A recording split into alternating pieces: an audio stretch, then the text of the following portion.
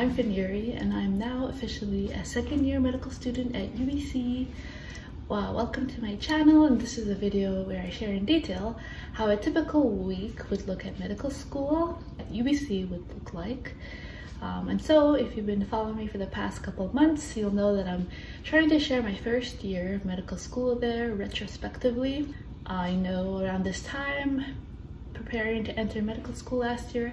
I just loved all the info I could get on what to expect the following year and would have loved to see a video like the one I'm about to make. Um, there are a lot of lovely people on the YouTube who share their experience as well, but uh, not as detailed as I would have liked it. Hopefully this is informative to those interested in coming to UBC uh, Med one day, uh, wherever you are in your pre-med journey. So as a disclaimer, a lot of what I'm going to say can be found at this website that I will link in the description down below. Um, but I insert some of my experiences and comments in this video if you're interested, as well as explaining some of the components of the curriculum in layman terms. However, if you just want to explore more and learn about the curriculum for the first years, that's okay too. Just go down to the link um, so this link is what I found personally when I was researching UBC Med info when I was applying. And so I thought I'd save those of you trouble and share here. Um, it's technically what UBC shares with their incoming first years of the year, so it's very accurate. Um, okay, so let's go ahead and start. So UBC Med is a four-year program. Um, year one and two are considered pre-clinical years, of the undergraduate medical education there. Um, and so it's pretty heavily academic focused uh, and particular attention is paid to the application of basic sciences. Uh, much of the content knowledge that is taught is contextualized into actual clinical situations. Uh, students also have some supervised clinical exposure in clinical experience sessions such as family practice and clinical skills where you can work on volunteer patients and later on standardized patients. All year one students will start their studies uh, with a one week orientation in Vancouver and then continue to their designated sites, VFMP, IMP, NMP, SMP for the second week of orientation in your first year. Second year, it's slightly different schedule, but similar since it's pre-clinical year as well. And I hope to share more about what that week would look like when the time comes. The rest of my MD vlogs I realized are most so what else I do aside from studying and going to school. Um, everyone has this misconception, at least in my experience, that medical school is super hard and you have no life, 24-7 studying non-stop. But surprisingly, relative to undergrad, it's been a lot more chill which sounds crazy. And I'm saying this, this is relative. Obviously, it's still a challenge, so much content and so much to learn, but the way UBC delivers it, I feel is so manageable, and the student affairs and faculty are all generally so supportive.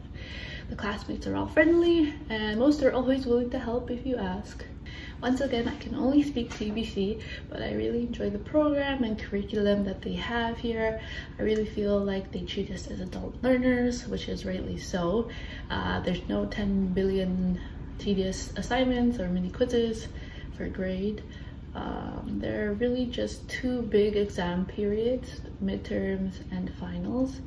Of course, there's family practice, clinical and communication skills that are mandatory to pass, but that's all largely to prepare you to be a good physician. If you don't want to go to those, then why are you even here? Um, these are all very important tools that everyone wants to do and learn anyways, um, which will all be accumulated uh, to properly pass OSCEs, which is a clinical exam where they assess your clinical skills and history slash communication skills at the end of the school year. They do have a FOSCEs, a fake OSCEs, um, to help you prepare for the one for grade at the end of the year. Um, and that usually happens in December, and then the final one happens in April where it's for grade. So this is what a regular week looks like in UBC Med.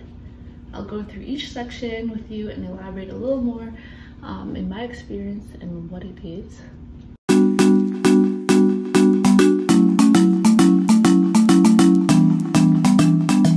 So, CBL. In the first year, CBL is three times a week, which in my personal experience has been great. Um, though it's quite early, but it's not that early, I don't think I would start my day early, which I like to do. Anyways, um, as a quick note for those who don't know what CBL is, um, it stand, the letters stand for case-based learning. Um, so CBL is an approach to small group learning for students.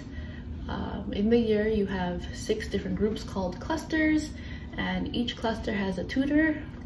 Um, so you'll have three different ones per semester for years one and two. Uh, the CBL tutor guides a group of about eight students through a weekly case pertaining to the week topic. Uh, the CBL cases are designed to shift the focus of student learning from foundational science to clinical knowledge and skills development, uh, with opportunities to demonstrate communication skills and model professional behaviors within the group. And so over a week, you would have three tutorials, um, or two tutorials a week in year two, uh, students are presented with patient information and probing questions to articulate, elaborate, and apply medical science knowledge and develop dif differential diagnosis and patient management approaches. Um, this active learning solidifies uh, the student's knowledge and understanding of pathogenesis and pathophysiology of disease processes. Uh, so, so throughout year one and two, the cases will progressively become more difficult and not as clear cut. Each week, your CBL group will explore the diagnosis, etiology, and treatment of a patient. And so as a group, it is our collective responsibility to work through the cases and we'll work with different members of the group to make most of our individual knowledge and abilities and help each other learn. And so the idea is that this learning format is designed to, for you to develop skills uh, such as thinking as a clinician and working efficiently and effectively in a team. The CBL, tutor, tutor, the CBL tutorials will underpin much of your learning throughout the first two years of uh, the medical program, and that will be supported by lectures, labs, and self-directed learning. Um, and so touching on my personal experience, this is where I did most of my studying, to be honest. So basically what happens is that every Thursday at 12 p.m., they release the CBL pre-release for the next week's theme, where you look over the case and prompting questions and resources to look over and prepare uh, to discuss on the following Monday when you have the first CBL called Tutorial 1. And so every Monday, Wednesday, and Friday, the tutorial of the day is released at 5 a.m. and CBL is at 8 a.m. LOL. Uh, each CBL group at the beginning of each cluster we decide on ground rules. Sometimes they be adamant, no one be a keener and wake up at 5 to look ahead at the new tutorial. Um, I have yet to see a group where they want to pre-look at 5 a.m. The curriculum here is a spiral program, which means that instead of doing organ system blocks, um, learning everything you can about the system all at once and then moving on, um, the spiral curriculum consists of every week or every couple to a few weeks, we learn about different organ systems. And then in later weeks and in second year, uh, we revisit the organ system and concepts so that we can learn it again and further and deeper. So overall, the idea is spaced repetition, building on knowledge prior for hopefully longer retention, which I think is great.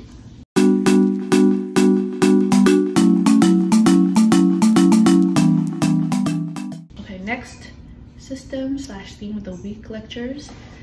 Um, so as mentioned earlier, UBC does not do block system, but spiral. And so every week it could be a different organ system we talk about. Um, so all the content for that week would usually be tailored to the theme or system of the week.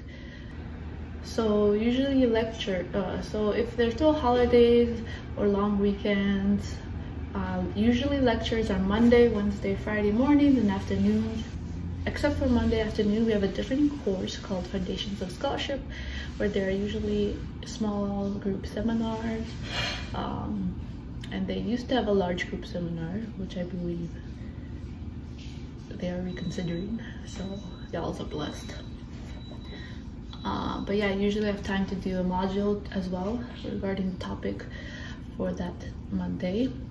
Um, and so your small group seminar is typically going to be the same for all four years of your medical school, so that's neat. Um, that you have a support group that's consistent, especially if you're at VFMP. The class is so large, you're definitely not going to get to know everyone. Um, but yeah, let me tell you now, there's going to be a lot of different groups and Facebook group chats that can make your head spin wild. But that's let's move on. A new week begins every Friday, 11 a.m. And the lectures are mostly recorded, which is a blessing, but there are some that there are not. So if you don't go, it's at your own risk of missing out. Uh, what's really neat is that you can actually pre-watch or go ahead of lectures since they give you access to whatever was recorded from last year's class. Uh, for us, the last lecture of the week usually is at 10 a.m. Friday called week wrap up, but it seems like they might be trying something new by having the last lecture focus more on decision making skills. The class of 2027 will have to elaborate more for us. And then 11 a.m. the new week starts. So depending on what group you are, you can have family practice Tuesday and clinical skills Thursday or vice versa. Personally, I had family practice on Tuesday afternoon, then clinical skills Thursday afternoon. Family practice hours can include family practice seminars on various topics, and then that is typically your scheduled curricular time to get your family practice hours done if you don't have a seminar uh, with a preceptor within the area that you are assigned to. I can only speak to VFMP and partially the Fraser cohort, but typically you're placed in student pods of one or two other medical students and assigned a family doctor willing to take medical students on. If you're in a student pod, you assign a person to correspond with the family doctor to figure out what uh, they prefer in terms of availability so yes, just because you're scheduled for Tuesday afternoon doesn't mean you have to or can. It all depends on the doctor's availability and what they are comfortable with. Um, so whether they want one student to come in at a time or all can come in. The family doctor you can get will greatly vary and so as expected your experience will also greatly vary. Um, I've heard some of my classmates getting thrown in right away and doing everything possible like the second week of school or you know nothing. Well, still really know nothing by the end, but um, sometimes you'll just be asked to observe and basically just shadow the whole time. But personally, I've had good preceptors both times and blessed that they were in Vancouver. Sometimes people get placed all the way to Abbotsford and maybe Chilliwack um, some experiences I got to learn or do in family practice is talking to a patient alone, getting histories, being taught some physical exam maneuvers by the family doctor, taking blood pressure, giving injections. Um, it's great. The school wants us to get as much experience as soon as possible and as much as possible. Um, but it all depends on the family doctor you get. Um, and so in the first year of family practice, students will have seminars, lectures, and visits to family practice office, like I mentioned. Um, and so sometimes the office visits will include virtual or telehealth opportunities as well, um, depending on your doctor. Um, and so that's also a great place to practice our interviewing skills that we learned from communication skills and clinical exam skills um, if your preceptor is comfortable with you doing it. And so the seminars I was mentioning about, so each semester they have different ones. First semester is Med 411. So you'll have sem seminars that will cover vital signs, office procedures, physical activity and hypertension. Um, some lecture themes will be ge geriatric, geriatric, well, like some lecture themes will be ge geriatric, whoa, medicine and health equity practices. Um, in the second semester, Med 412, students will continue practicing examining real patients at your family doctor's office and then the seminars will be focused on concussion, palliative care, headache, and fatigue.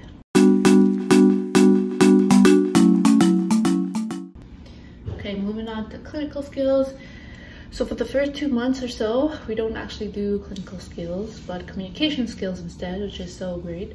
Before we learn any physical exams, they really try to stress the importance of being able to communicate and talk properly and compassionately with patients. In the first term, Introduction to Communication Skills, Um, you'll be able to conduct interviews with volunteer and standardized patients and develop the skills necessary to take a medical history and deal with unique patient interactions. Um, and so this will typically be followed by the introduction to clinical skills portion of this course where uh, we're able to build our foundational clinical skills by obtaining vital signs, practicing um, cardiac, respiratory, abdominal physical exam on a volunteer patient. And then the next semester, or the second term, we're gonna spiral our clinical skills in cardiac, respiratory, gastrointestinal, ultrasound, neurology, ophthalmology, peripheral vascular, um, head, neck, head, neck, and throat uh, by performing a focused medical history and conducting a physical exam. Okay, finally labs. Labs consist of anatomy, histology, pathology, um, usually Wednesday afternoon and or Friday afternoons as noted in the schedule. I would greatly urge you to go for as long as you can as there's just a consistent flow to the content that is being fed to us that if you put it off, usually it ends up being impossibly crammed at the end when you're also trying to review and study the main content. Oh, um, speaking for a friend. That way at the end, also that way at the end, you're not learning it for the first time, but actually reviewing. Um, this seems like super straightforward advice, but lol living through it towards the exams most people end up taking an l on it to focus on the main con lecture content